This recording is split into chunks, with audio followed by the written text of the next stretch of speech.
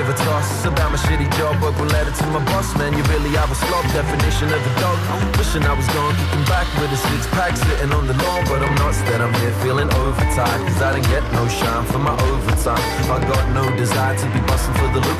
You're lucky I don't hustle for a dust for now I'm in the back room puffing on a dude while you're bludgeoning in your office scoffing muffins, fucking dudes. Thinking who the fuck are you to tell me what? I wanna say it to your face, but I'm afraid I'll get the boot. You're annoying as they come, and I don't give a fuck if the toilet needs a scrub. I ain't employee of the month, sucker.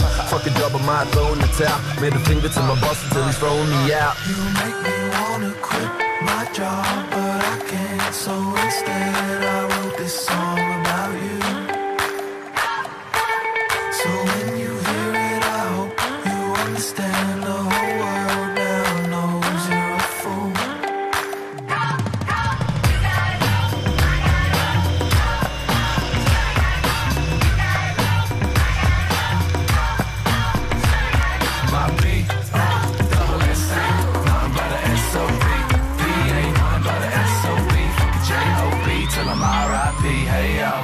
Picture me as a little pipsqueak with a one-way ticket to Sydney, equipped with a CV, pristine superfly with a suit and tie, trying to be a big shot. Score a slick job and the big smoke gets locked into a shit box office, making money for the rich folk, feeling pretty ripped off. Was only ever meant to be a pit stop, now I spend my days with you.